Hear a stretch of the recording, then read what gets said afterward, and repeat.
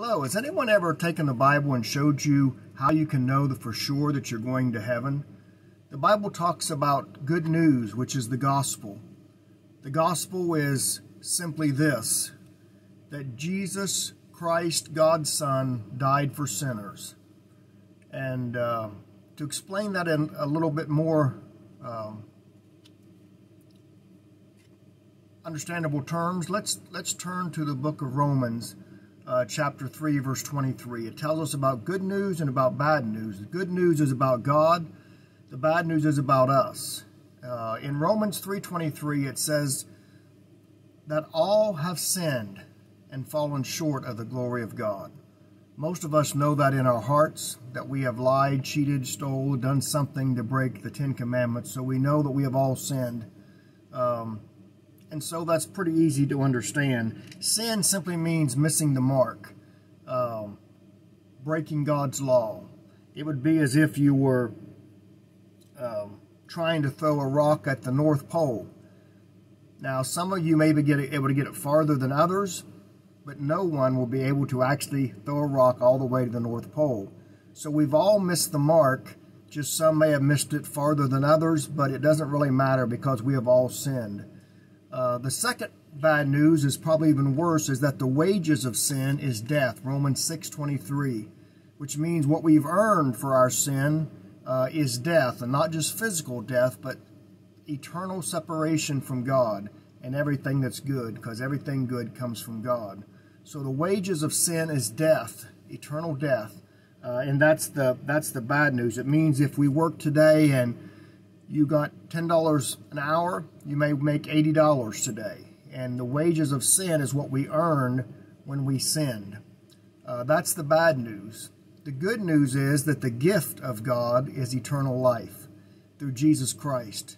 So the good news says that even though our wages we've earned uh, is eternal death, God has a gift, something you can't earn, something that uh, you didn't do anything uh, to deserve.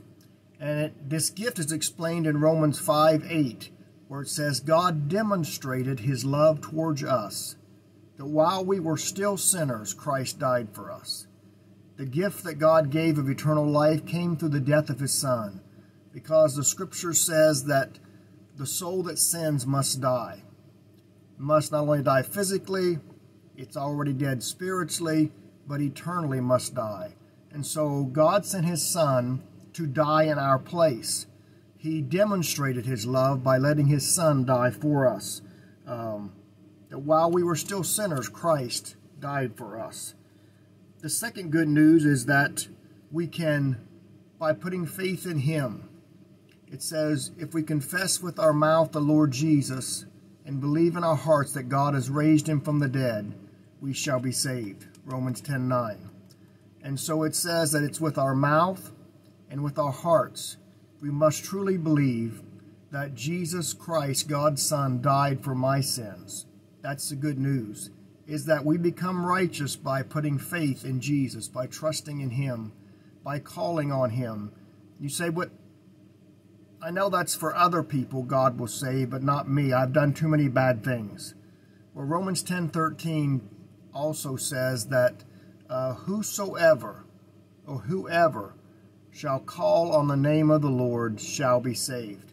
And so it gives you a promise that if you call on God to be saved, you will be saved. Not because you're good enough, not because you're not too bad, but the bad, the baddest of all can be saved. Because you're not being saved because of what you've done, because the wages of sin is death, but it's the gift of God. It's eternal life through Jesus that Jesus, God's Son, already paid the price 2,000 years ago on a cross. He died for your sins, that God could accept you into his family, and you could have eternal life and live in heaven forever. That's the best news of all, is that you take time to turn your life to God, that you, A, admit that you're a sinner, you confess your sins, and say, God, I'm a sinner, I need to be saved, and believe that Jesus died on the cross for you, and that was enough. That's B. A, B, and C is to continue to follow him the rest of your life. you turn your life to Him and begin to follow Him and know the joy of following Jesus, knowing that no matter what it costs, it's too small a price for what God has given you in eternal life. And once you put your faith and trust in Jesus and you follow Him, uh, get in a Bible church that teaches the Word of God, uh, get around believers who encourage you in your faith, uh, read your Bible every day, pray every day, memorize the Scriptures, meditate on them, talk to God every day. Keep the relationship with God the most important thing in your life, and heaven will be waiting for you. God bless you.